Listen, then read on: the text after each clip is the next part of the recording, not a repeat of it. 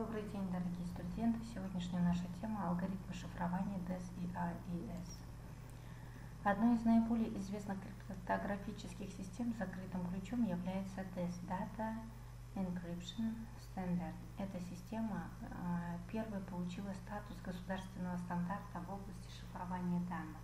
И хотя старый американский стандарт DES в настоящее время утратил свой официальный статус – этот алгоритм все же заслуживает внимания при изучении криптографии. Кроме того, в этой лекции объясняется, что такое двукратное DES, атака встреча посередине и способы ее устранения. В этой же лекции кратко рассматривается новый стандарт США на блочный шифр алгоритм Regiondale. А, цель лекции – ознакомить студентов с основными сведениями об алгоритме шифрования DES. Литература. Басалова ГВ. Основ, основа криптографии Тула. Издательство Тульского государственного университета 2009 года. С. Бернет и а, другие авторы. Криптография. Официальное руководство РСА Security.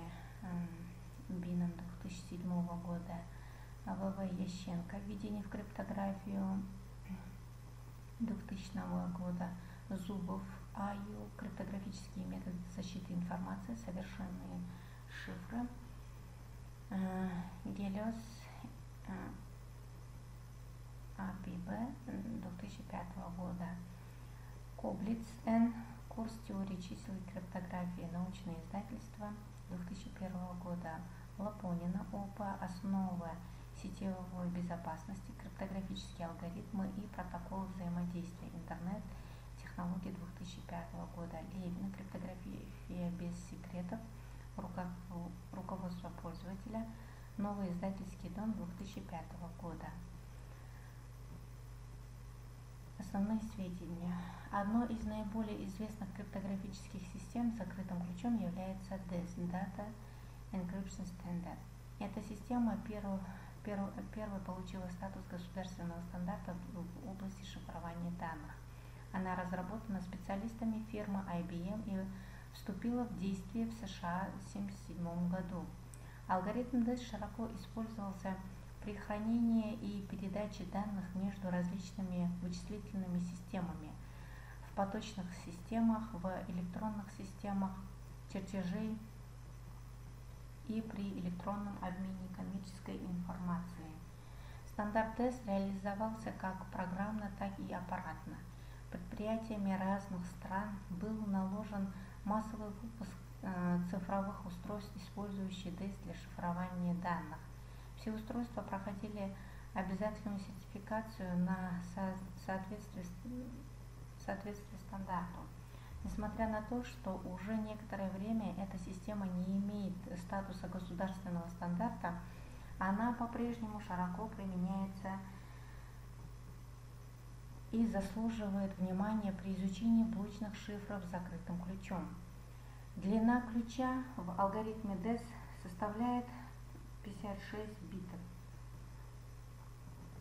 Именно с этим фактом связана основная Полемика относительно способности ДЭС противостоять различным атакам. Как известно, любой блочный шифр с закрытым ключом можно взломать, перебрав все возможные комбинации ключей.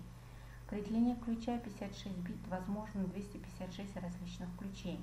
Если компьютер перебирает за одну секунду миллион ключей, что примерно равно 220 то на перебор всех 250 ключей потребуется 236 секунд или чуть более 2000 лет, что, конечно, является неприемлемым для злоумышленников.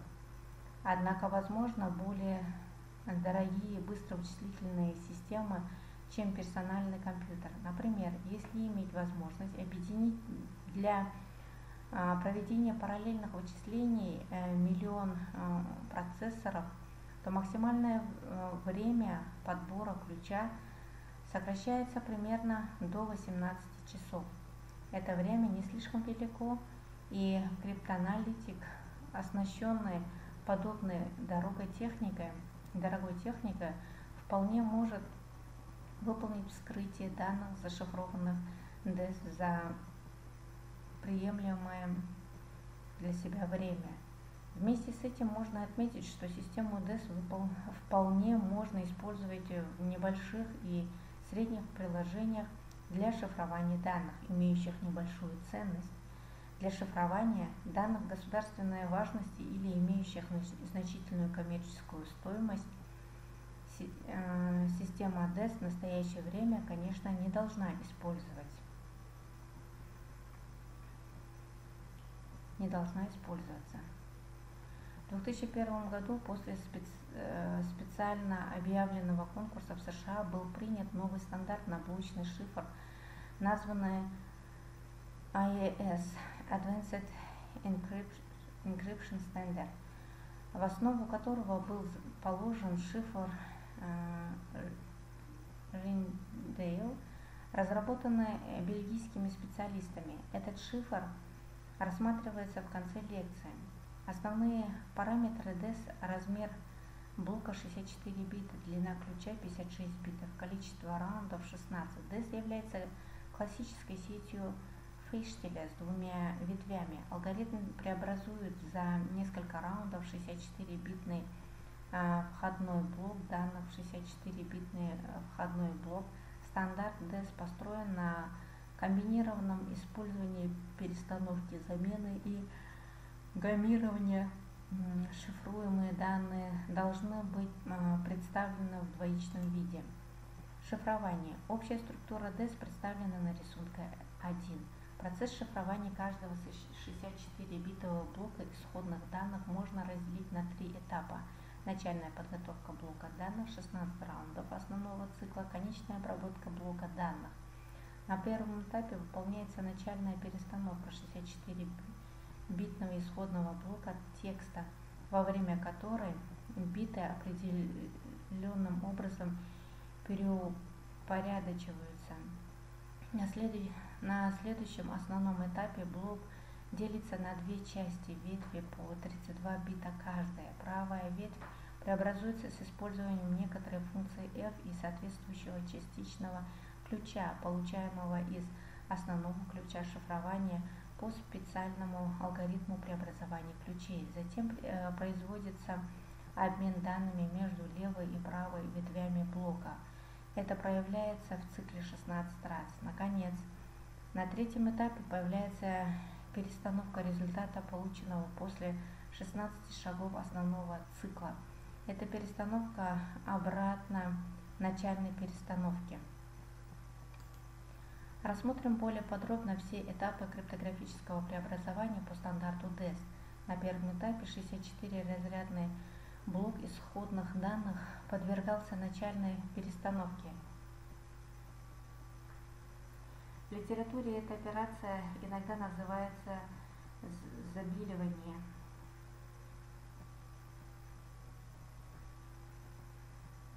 Whiting. При начальной перестановке биты блока данных определенным образом переупорядочиваются. Эта операция придает некоторую хаотичность исходному сообщению, снижая возможность использования криптоанализа статистическими методами. Одновременно с начальной перестановкой блока данных выполняется начальная перестановка 56 бит ключа. Из рисунка 1 видно, что в каждом из раундов используется соответствующий 48-битный частичный ключ КИТ. Ключи КИТ получаются по определенному алгоритму, используя каждый из битов начального ключа по несколькому раз. В каждом раунде 56-битный ключ делится на две 28-битовые половинки – Затем половинки сдвигаются влево на 1 или 2 бита в зависимости от номера раунда. После сдвига определенным образом выбирается 48 из 56 битов, так как при этом не только выбирается под множество битов, но и изменяется их порядок, то эта операция называется перестановка со сжатием. Ее результатом является набор из 48 битов – среднем каждый бит исходного 56-битного ключа используется в 14 или 16 подключей, хотя не все биты используются одинаковое количество раз. Далее выполняется основной цикл преобразования, организованный по сети Фейштеля и состоящий из 16 одинаковых раундов. При этом в каждом раунде получается промежуточное 64-битное значение, которое затем обрабатывается в следующем раунде. Левая и правая ветви каждого промежуточного значения обрабатываются как отдельные 32-битные значения, обозначенные L и R. В начале правая часть блока R и T расширяется до 48 битов, используя таблицу, которая определяет перестановку плюс расширение на 16 битов. Эта операция приводит размер правой половины в соответствии с размером ключа для выполнения операции XOR. Кроме того, за счет выполнения этой операции быстрее возрастает зависимость всех битов результата от битов исходных данных и ключа. Это называется лавинным эффектом. Чем сильнее проявляется лавинный эффект при использовании того или иного алгоритма шифрования, тем лучше. После выполнения перестановки с э, расширением для полученного 48-битного значения выполняется операция XOR с 48-битным под, э, подключом К Т. Затем полученное 48-битное значение подается на вход блока подстановки S от английского substation, подстановка, результатом которой является 32-битное значение. Подстановка выполняется э, в 8 блоках подстановки или э, 8 S-блоках Xboxes. При выполнении этой операции 48 битов данных делится на 8 6-битовых подблоков, каждый из которых по всей таблице замен заменяется 4 битами. Подстановка с помощью S-блоков является одним из важнейших этапов DES. Таблицы замен для этой операции специально спроектированы специалистами так, чтобы обеспечивать максимальную безопасность. В результате выполнения этого этапа получается 8-6 битовых блоков, которые вновь объединяются единое 32-битовое значение. Далее полученное 32-битовое значение обрабатывается с помощью перестановки P от английской permutation, перестановка, которая не зависит от используемого ключа.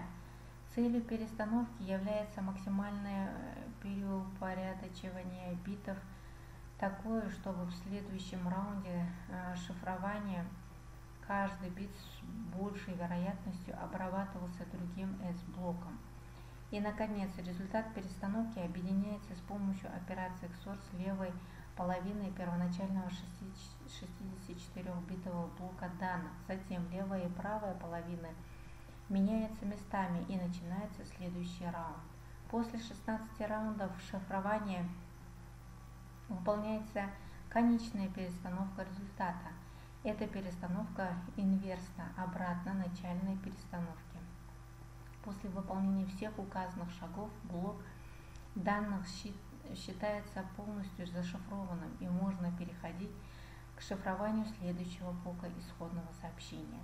Если вы внимательно э, прочитали описание DES, то убедились, что разработчики приложили все силы для того, чтобы сделать процесс вскрытия шифро шифрованных сообщений как можно более трудным – даже простое описание тест на бумаге выглядит достаточно сложным, что уж говорить про его а, программную реализацию. Разработать правильно и оптимально функционирующую программу полностью в соответствии с DES, наверное, под силу только опытным программистам.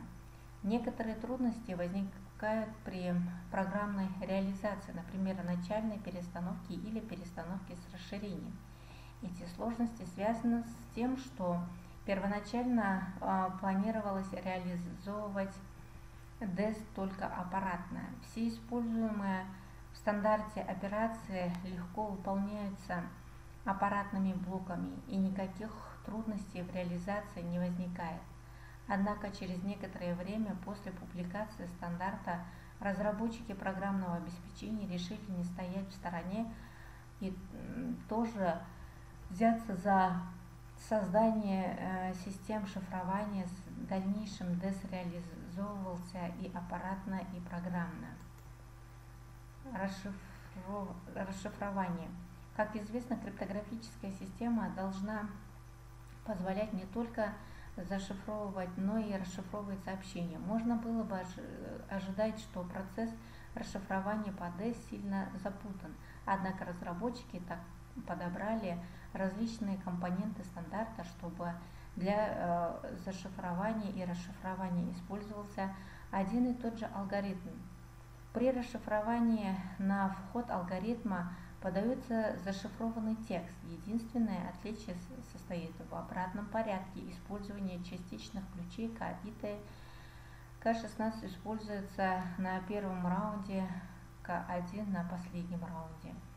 После последнего раунда процесса а, расшифрования две половины выхода меняются местами так, чтобы вход заключительной перестановки был поставлен из R16 и L16.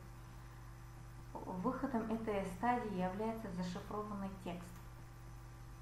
Двукратный DES и атака встреча посередине.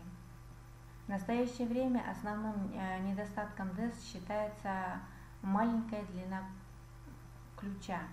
Простейшим способом э, усложнения процесса криптоанализа является использование двукратного шифрования помощью одного и того же алгоритма с разными ключами.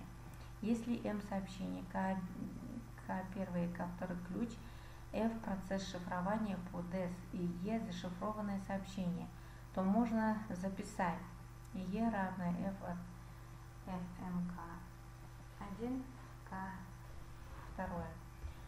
То есть сначала а, блок шифруется одним ключом, затем Получившийся а, шифротекст шифруется вторым ключом. Расшифрование проводится в обратном порядке. f степени минус 1 расшифрование по DES. Как вы видите ниже формулу,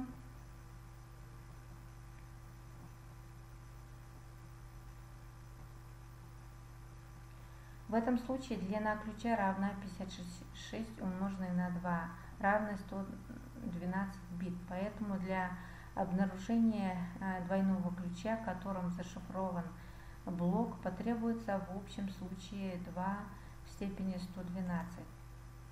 Исследовав эту проблему, американские ученые Меркел и Хелман придумали способ проведения атаки по от, открытому тексту, который требует проведения не в 2 степени 112 попыток, а 2 в степени 57.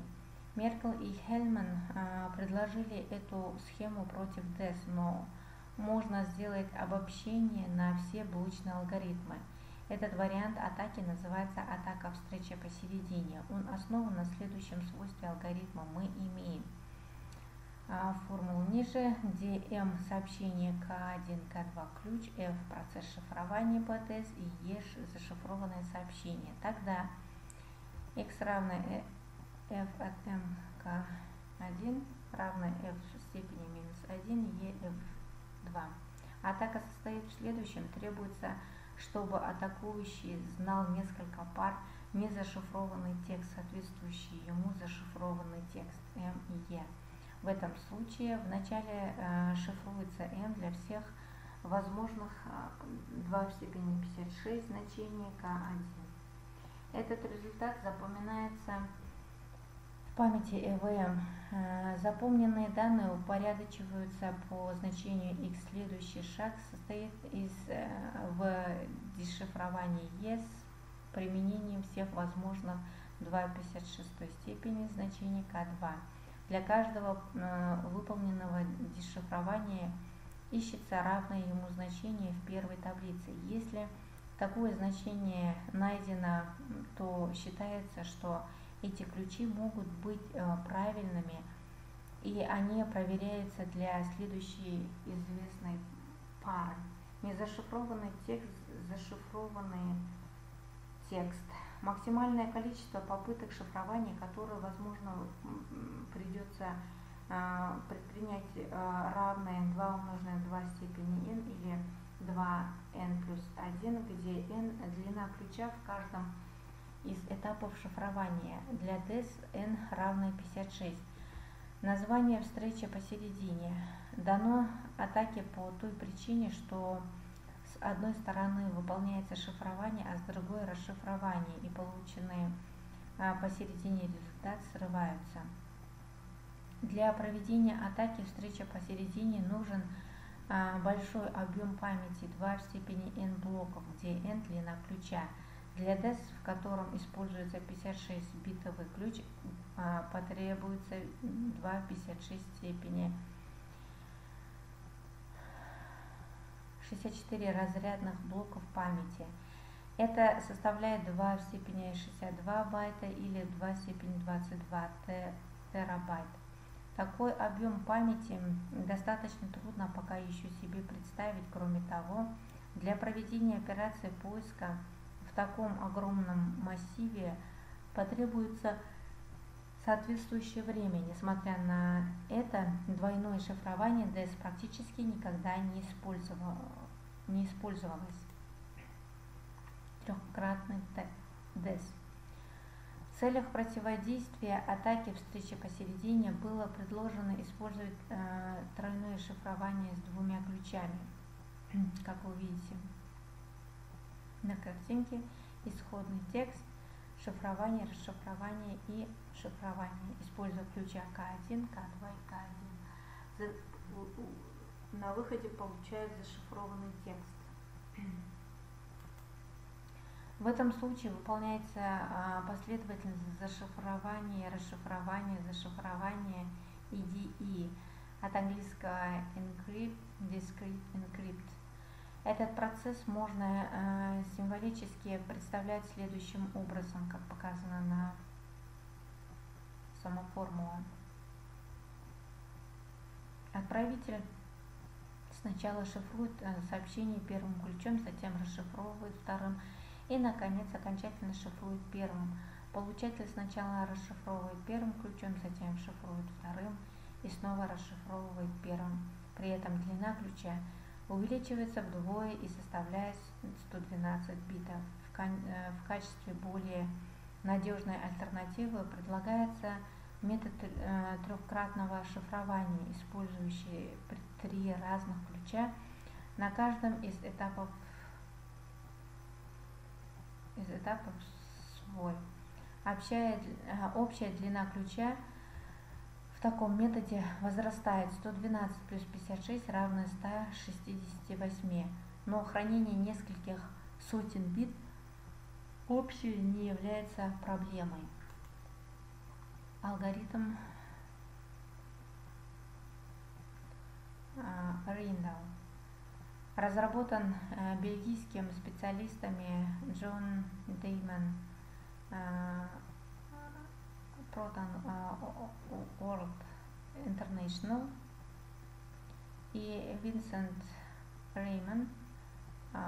Этот шифр победил в проведенном Национальным институтом стандартов и техники США конкурсе на знание IS Advanced Encryption Standard – и в 2001 году был принят в качестве нового американского стандарта. Алгоритм Рейндал э, достаточно сложен эм, для описания, поэтому рассмотрим только основные аспекты построения и особенности использования шифра. Шифр Рейндал AS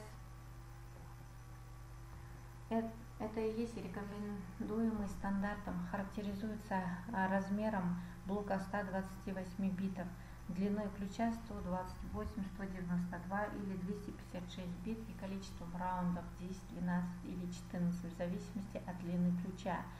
В принципе, структуру Рейндал можно приспособить к любым размерам блока и ключа кратным 32, а также изменить числа раундов. В отличие от э, шифров, предлагаемых DES и GOST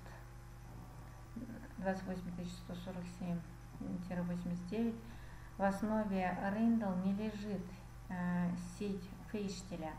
Основой Rijndael составляет так называемое линейное подстановочные преобразования. Блок данных, обрабатываемый с использованием Rindle, делится на массивы байтов, и каждая операция шифрования является байт-ориентированной. Каждый раунд состоит из трех различных обратимых преобразований, называемых слоями. Эти слои следующие. Нелинейный слой – на этом слое выполняется замена байтов. Слой реализован с помощью S-блоков, имеющих оптимальную нелинейность предотвращает возможность использования дифференцированного линейного и других современных методов криптоанализа. Линейные перемешивающие слой гарантирует высокую степень взаимопроникновения символов блока для маскировки э, статистических связей. На этом слое в прямоугольном массиве байтов выполняется сдвиг строк массива и перестановки столбцов. Слой сложения по модулю 2 с подключен выполняет непосредственно шифрование. Шифр начинается и заканчивается сложением с ключом. Это позволяет закрыть вход первого раунда при атаке по известному тексту и сделать криптографически значимым результат последнего раунда. В алгоритме широко используются табличные вычисления, причем э, все необходимые таблицы задаются константно, то есть не зависят ни от ключа, ни от данных. Необходимо отметить, что в отличие от шифров, построенных по сети в Хиштеле, в Рейндал функции шифрования и расшифрования различны. Алгоритм Рейндал хорошо выполняется как в программной, так и в аппаратной реализации. Рейндал имеет небольшие требования к памяти, что делает его пригодным для систем с ограниченными ресурсами – Надежность шифрования алгоритма Рейндл очень высоко оценивается специалистами. Режимы работы блочных алгоритмов. Блочные шифры могут использоваться для выполнения различных задач, поэтому для любого симметричного блочного алгоритма шифрования определено несколько режимов его применения. Каждый из режимов имеет э, свои особенности и сферы применения.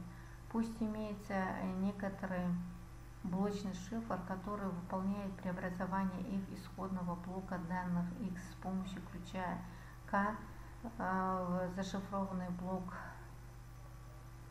y равный f от xk. Рассмотрим некоторые возможные режимы выполнения преобразования f.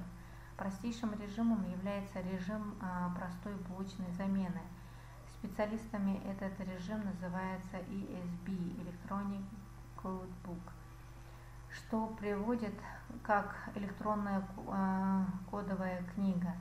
В этом режиме каждый блок исходных данных шифруется независимо от остальных блоков с применением одного и того же ключа шифрования. Если сообщение длиннее, чем длина блока соответствующего – целом режим ESB рекомендуется использовать для передачи одиночных коротких сообщений, например, криптографического ключа. Для устранения недостатков ESB при передаче нескольких а, блоков а, данных может использоваться в режиме SBS а, Hyperblockchaining. Режим сцепления блоков шифра – Преобразование в режиме SBS выполняется следующим образом. Каждый блок открытого текста складывается по модулю 2 э, с результатом шифрования предыдущего блока. Таким образом, результаты шифрования предыдущих блоков влияют на шифрование следующих блоков. Математические операции э, шифрования в режиме SBS описываются следующей формулой. То есть перед шифрованием очередного блока над открытым текстом результатом шифрования предыдущего блока выполняется операция сумма по модулю 2. Когда блок открытого текста зашифрован, он сохраняется в памяти шифрующегося устройства, например, в регистре, в регистре обратной связи.